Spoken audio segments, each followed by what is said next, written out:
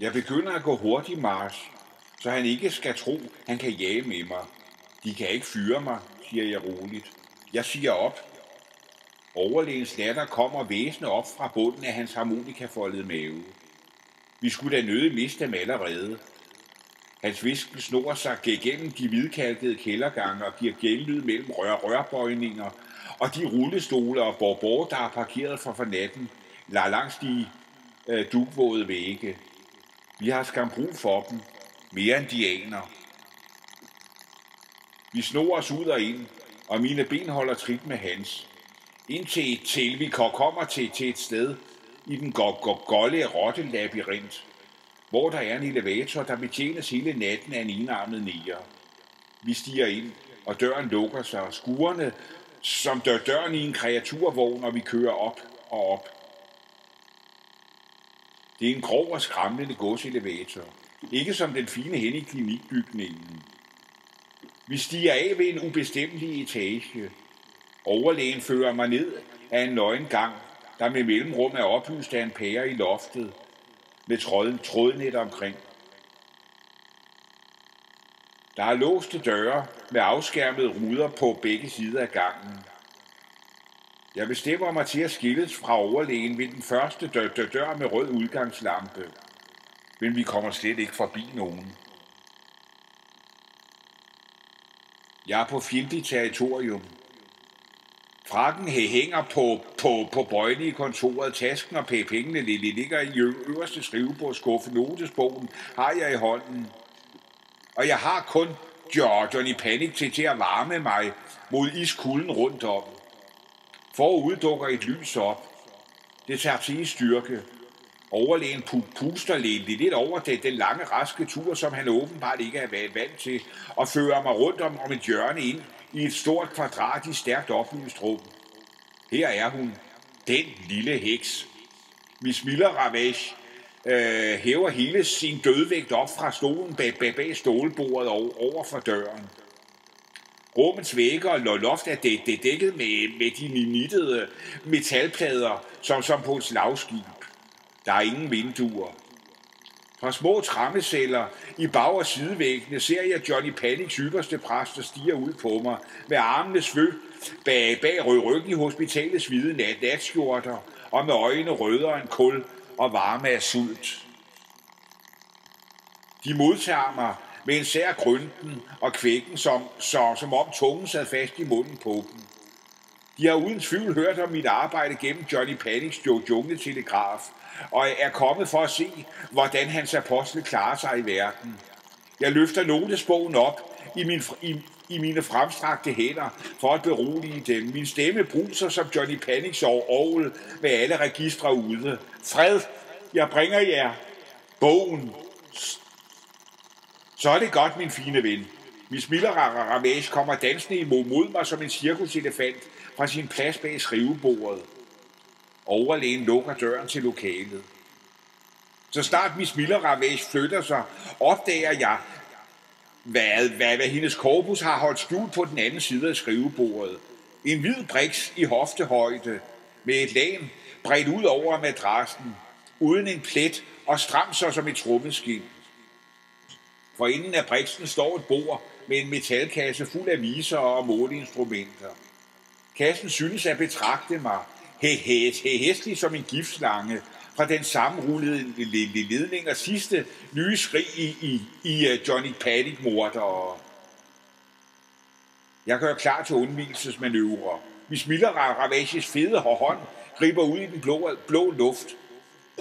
Hun gør klar til et nyt forsøg med et smil, så truende så, som hundedagen i august. Så er det godt, så er det godt. Lad mig få den lille sorte bog. Jeg løber hurtigt rundt om, om den høje hvide briks. Men Miss Miller Ravage er, er, er så hurtig, at man skulle tro, tro hun, hun løb på rulleskøjter. Hun langer ud og forbid.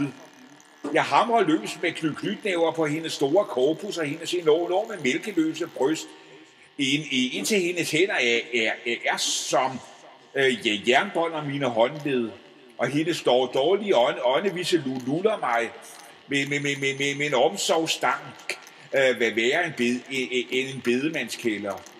Min skat, Mit eget lille barn er kommet hjem til mig. Hun har været sammen med Johnny Panic igen, siger overlægen trist og strengt. Men fy dog! Den hvide briks er klar. Med en forfærdende mildhed tager min Miller ravage med mit ur af armen, ringen af mine fingre og hårnålen ud af mit hår. Hun begynder at klæde mig af, til jeg er helt nøgen. Så bliver jeg salvet i tændingerne og klædt i lælæner, jomfruelige som den første sne. Fra rummets fire hjørner og fra døren bag bag mig kommer fem falske præster i iført hvide titler og masker, hvis eneste livgærning er at styrte Johnny Panic fra hans egen trone. De strækker mig ud på briksen i min fulde længde. Jeg får ledningskronen på på hovedet og glemslens oblat på på tungen. De maskerede præster går op på, på plads og griber fat. En i mit venstre ben, en i mit højre, en i min højre arm, en i min venstre. En står ved metalkassen bag bagved, hvor jeg ikke kan se ham. Fra deres nævre nischer i væggen hæver de sande hengivne deres stemmer i protest. De istemmer den andagsfulde messe. Kun én ting skal du elske. Det er angsten. Kærlighed til angst er begyndelsen til visdom.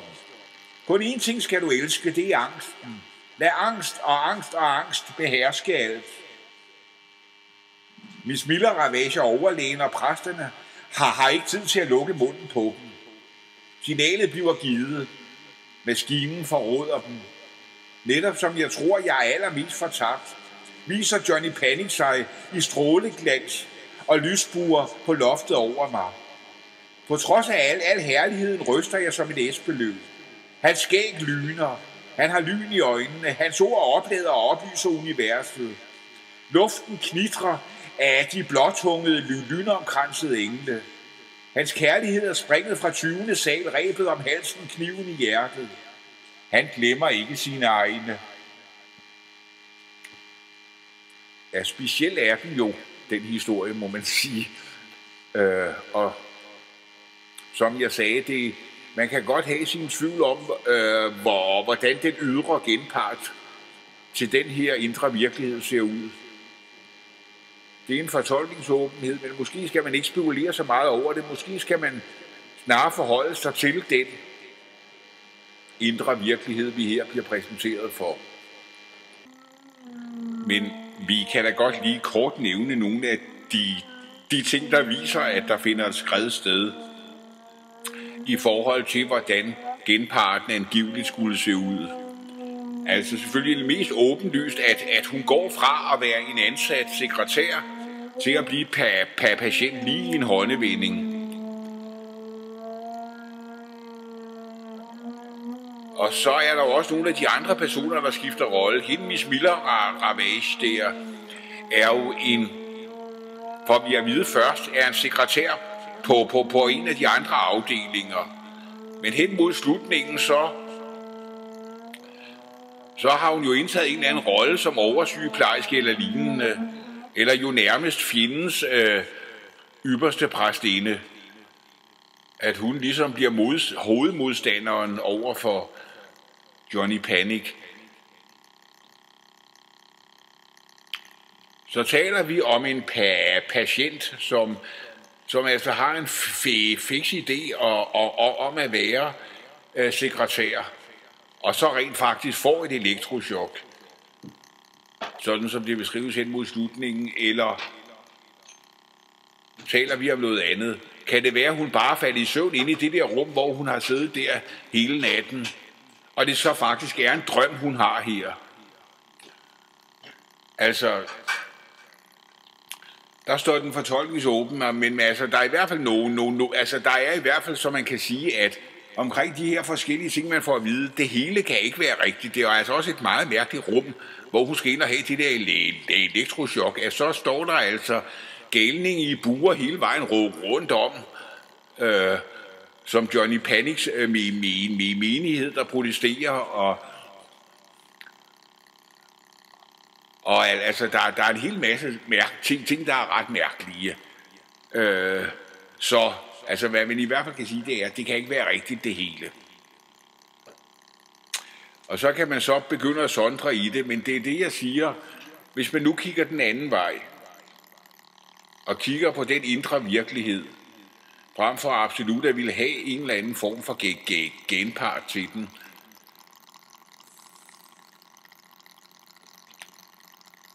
så beskriver det, det er den jo et sjæleliv og en, og en tilværelsestolkning.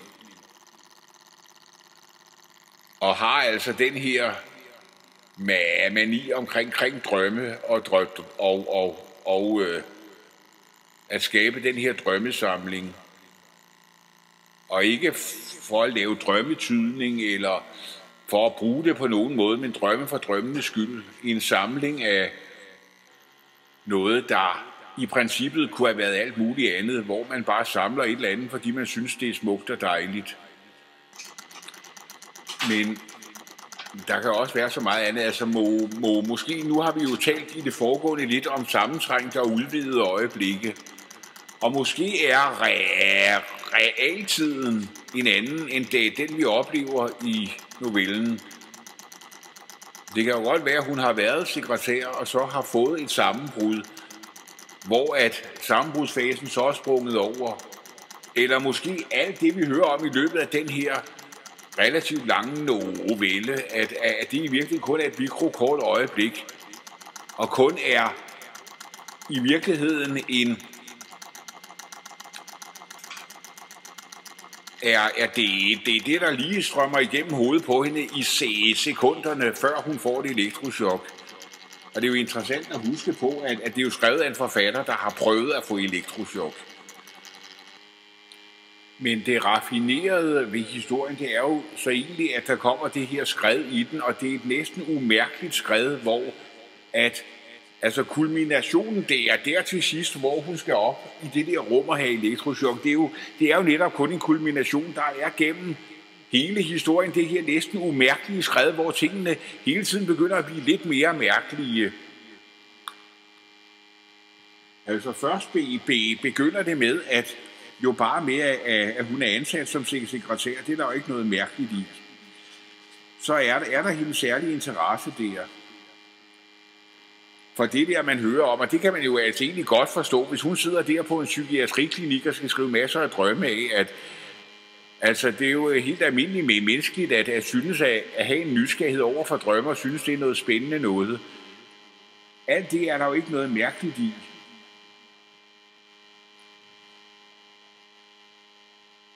Og at, at, at hun ligesom ved at sidde der derude og derinde ser en masse mennesker, der har det svært, det er jo heller ikke, altså det er der ikke noget særligt i. Er jo den der, måske begynder en mus ret tidligt at spekulere på, hvordan hele verden styres af alle disse kæmpe fødder. Herfra, hvor jeg sidder, ser det i hvert fald ud som om, der er ingenting, og kun denne ene ting, der styrer verden. Panik med hundeansigt, djævleansigt, hekseansigt, luderansigt. Panik med store bogstaver, uden ansigt overhovedet. Vågen eller sovende. Det er den samme Johnny Panic. Okay, så sker der den her altså personifikation eller personificering af, af pa, pa, panikken, angsten. Øh, og ja, det, altså, det er jo en tænk, det, det er jo ikke en så mærkelig og forskruet til tænkning at ligesom sætte et ansigt på et be, begreb, man møder hver, hver dag i sit arbejde.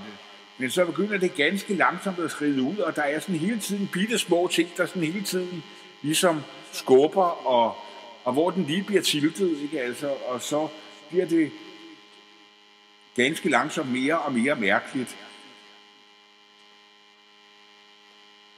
Og altså så ender det op i det der rum, hvor ikke bare skal hun op og have elektrochok, men altså der står galning i buer hele vejen rundt og protesterer over det, fordi det er Johnny Panics menighed, og der er nogle helt klare glidninger og skred, hvor det bliver ganske langsomt mere og mere mærkeligt, og slutningen er sådan set bare en kulmination på, på det.